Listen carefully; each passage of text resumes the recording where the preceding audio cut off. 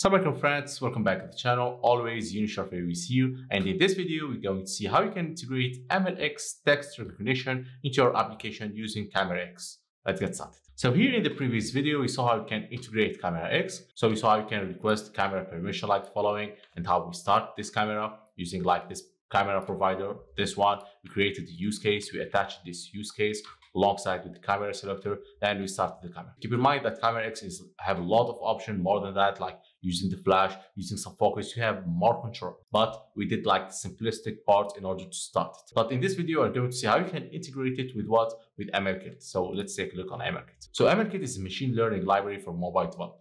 It has a lot of use cases like face detection, barcode scanning, for example, text recognition, image labeling, like many things. So we will take as an example the text recognition as a use case, but they are similar in a way they are coded. So we are going to take this one, text recognition, and as you can see, it allow you to do text recognition on any Latin-based character. So it has this architecture. It will give you a block and each block there is some lines and each line there is some element. And it will give you the coordinates for each one, right? So if you want to show it, you can show. We are not going to show it here because it requires some view things. You are just going to print them, but you will get this, all of this, direct, bounding box and everything. So let's check it for Android.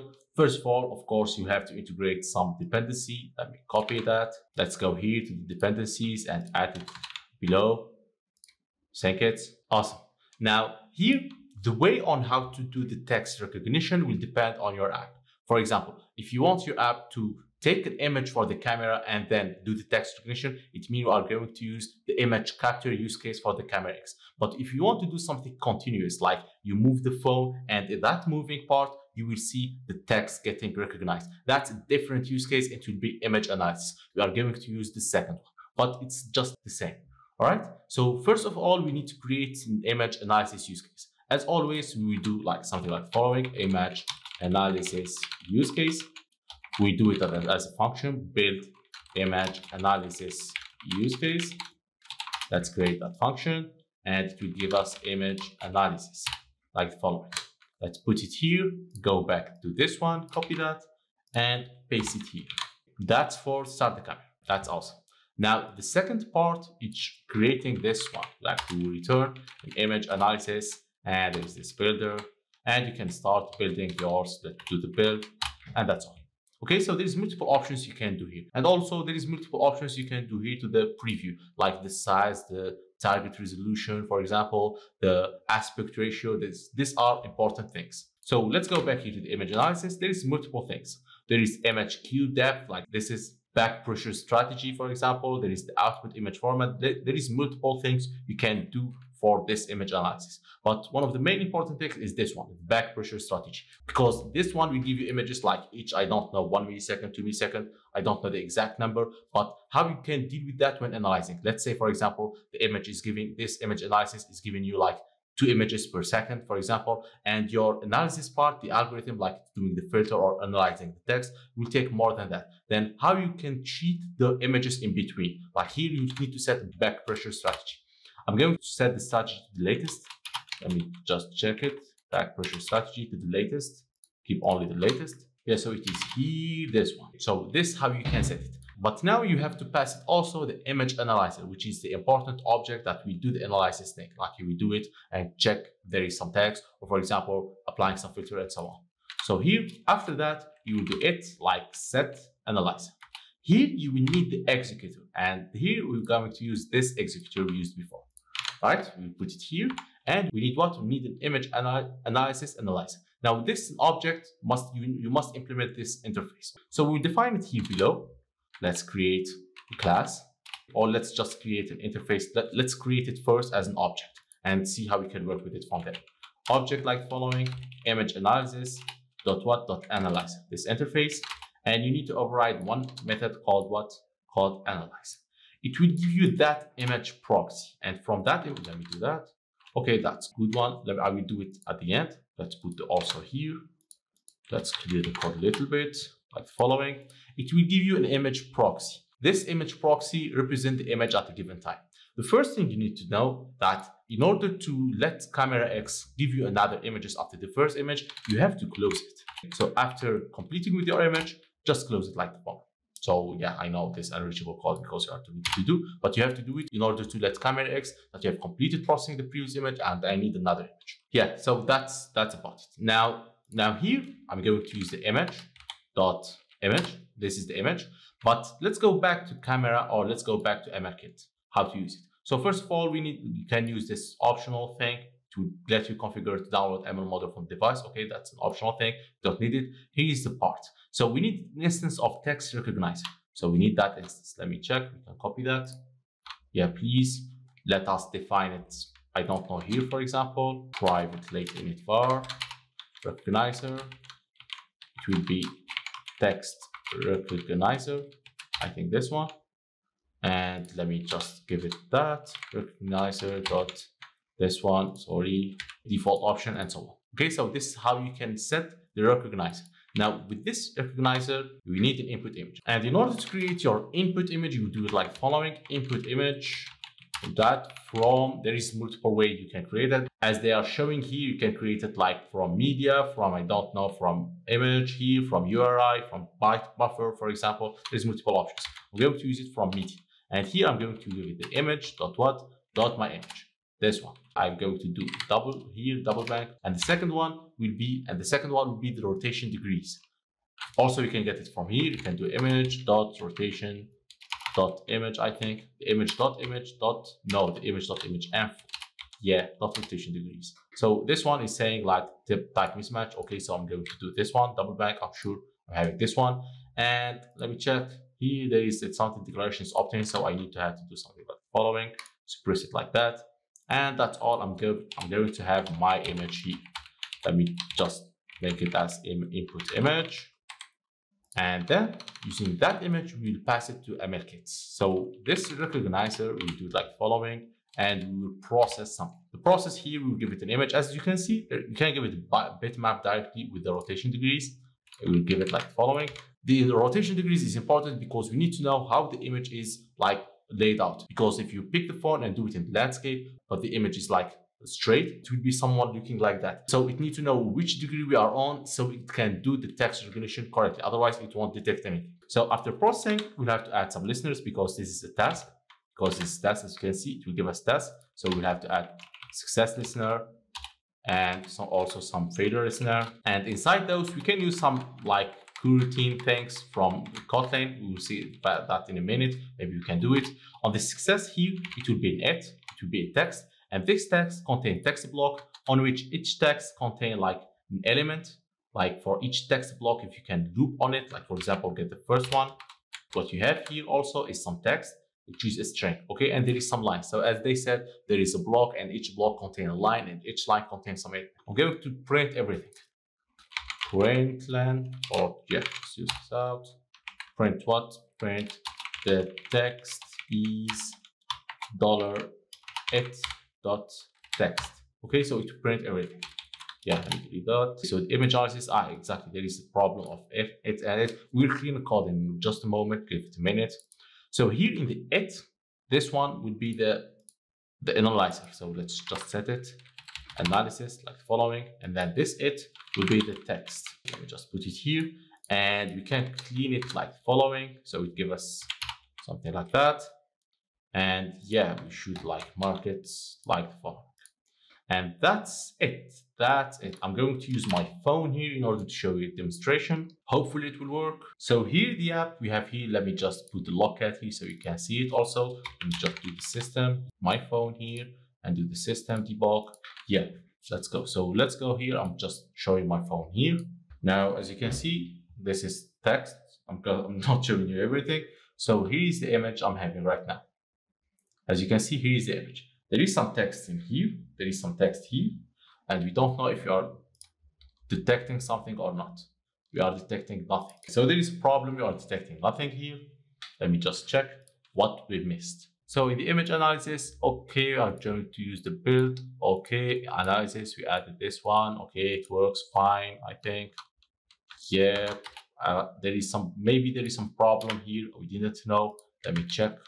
Let me just print the exception. Let me just run it again. Maybe now it will show us Why we have the problem?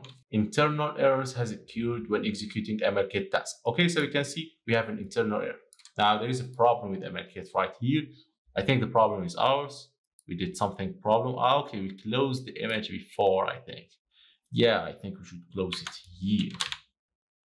Let's run it again. Maybe this time it will work like exactly it is working. So if I do the text, as you can see, let me just show you. This is Mad Publicity Agency. As you can see, Mad Publicity didn't write it well. The text is, as you can see, it is working like the number, like this one, like the email. I don't know if it is working correctly or not. So as you can see, it is doing that in real time. Okay. If I move the phone, for example, here is the catch. If I do something like following, my phone here is in landscape. As you can see, detecting nothing. Why? There is a problem with the rotation degree. Okay, so we need to be careful here. As you can see, detecting something like a problem here. If I do the separate one, it will detect it correctly right now. As you can see the number, this one, the email, the Gmail, and everything. So if you want like publicity agency, the number of my, my cousin. Yeah, so this is it for how you can create the MLKit. Now the problem were here, like we were closing the image before getting the result back. So that was the issue. So let's clean this a little bit because this nasty code, right? You can't get used like that. Yeah, it's working, but we have to clean it. So we can set this analyzer in, in a separate class. Let's create that class for us. Let's call it, for example, yeah, create class. Let's call it text text analysis analyzer. This one and this will have to implement image analysis dot analyzer like following. Implement this one, and here we need to analyze things we need just to copy and paste all the thing here. There is the image, right? You need to do this one, put it here. So the image input, we need the recognizer, of course. Let's get it. Yeah, I think we can initialize it directly in the beginning. Yeah, so let me just those. There is multiple options. You can set, set it with this one. Let me just delete Latin it and put it a file like that. There is some other options, I think, like Latin, there is Latin and Chinese. Yeah, there is some options you can use here also for your use case. And let me just bring this also. You are making a mess, but it will work soon. Just give it a minute. And you can delete everything here like that. Yeah, but we have to do the analysis. Just give me a minute. It dot set analyzer, of course, with the camera executor. And here we need to create this object and pass it. And let me check. Private late init var text analyzer. It will be this one. Let's create it here. Can't create it directly, but I'm trying to use this one. And here we will just pass our image analyzer. Well, now it will analyze things and it will just print them here. If we do it like the following, run it back. Here is the image. Let's check if it is it. Exactly, it is it and it is working. This is just a simple way to do some refactoring in order to extract this logic. But there is a problem in which if you want to show this result, if you want to communicate back this result to where to your activity, so maybe you want, you want to draw some boxes around it. Here, well, there is some solution to that, like you can define like state holder state flow, for example, here, and it will be just emitting the results back to the activity, like so some simple thing that would work, yeah. Here we can use some coroutines in order to do this process, but we need to have some depend uh, to add some dependency Let's add it here. There's this one, implementation, sorry, this one. If you do that, let me check if we can have a superior version. Yeah, we can have it. Let me just use that version in order to demonstrate that. If you do that, you can do something here called the await, and that will give you a result directly here. And using that result, of course, you can do like normal text block and check the result you were getting here. It will be here. And you can do some try and catch in order to see if you have failed or not. But here you will have to use like a coroutine scope. You can create your coroutine scope or pass it like you can have something like following coroutine scope and you can use it here. Let me just check it. Coroutine scope, like lash it here. And then using that result, you can like set it in here in the state flow, for example, and just push it back, okay, and collect it from your activity, and that would work, but I will just print that, okay? Let me delete all that code. I won't do any try and catch text text that would work. We need just, we need this coroutine scope. Like you can pass it here, for example, pass coroutine scope. Let's, let's create, let's create coroutine scope. For example, let's create with one with dispatcher from what? From the main, now from the default. If that would work, let's run it. Let me check the logcat. There is exactly no text until I move my camera here. So that would work and it is working correctly. You can pass your specific routine scope or I didn't add uh, the dependency for adding the lifecycle scope or something. And you can observe the result basically on the resume or when the lifecycle is resumed. Okay, so that would work also. You have many options you can use when coming to threading and this option. So it depends on what you are doing. If you want to show it, if you want to just detect something and do uh, some action based on that. Like it depends on your option, but that's at least for me on how to implement. So let's recap a little bit. So we did some request permission in order, in order to get the camera permission that we started the camera. When starting the camera, you have to supply it with what? With your image analysis use case or all the use cases like the preview use case and image analysis use case. We built that preview use case in the previous video like following. We just attached some preview view on it and for the image analysis use case, you have to set some back pressure strategy and the analyzer that will do the task of analyzing. You can define it here, but you can extract it into separate class, but you have to deal with how you can communicate the result. If you use like an anonymous object here, that would work and you can communicate everything, but that would be like a huge code. So you have to separate that little bit. Like there is some, there is a lot of improvements we can do here. For example, we can extract this image analysis like a, an abstract concept called called analyze, in which it will use that image analyzer. That way, we can test this application. For example, we can supply the text analyzer via dependency injection manner. So that way, maybe we can, not maybe for sure, we can test, we can unit test that behavior of analyzing by submitting a fake text analyzer. Okay, that would be a, a huge work to do, especially when to mock this, when to mock this camera X. That would work, that for sure would work, but to be a huge work to do. So make sure you have understand the basics here, like the analyzer, how to analyze things. Like here, I passed the coroutine scope using this await function, but you can use the previous way getting the image and setting the, its rotation degree. The rotation degree are important. And here for the text recognition, you can basically swap it if you want to do barcode analysis or image analysis. For example, face detection, it will be just the same. You'll have to process some image, get some result, and interpreting the result will differentiate between that use case. So this is it for this long video. Thanks a lot for watching. Don't forget to subscribe to the channel as always and see you in the next videos. Salam alaikum.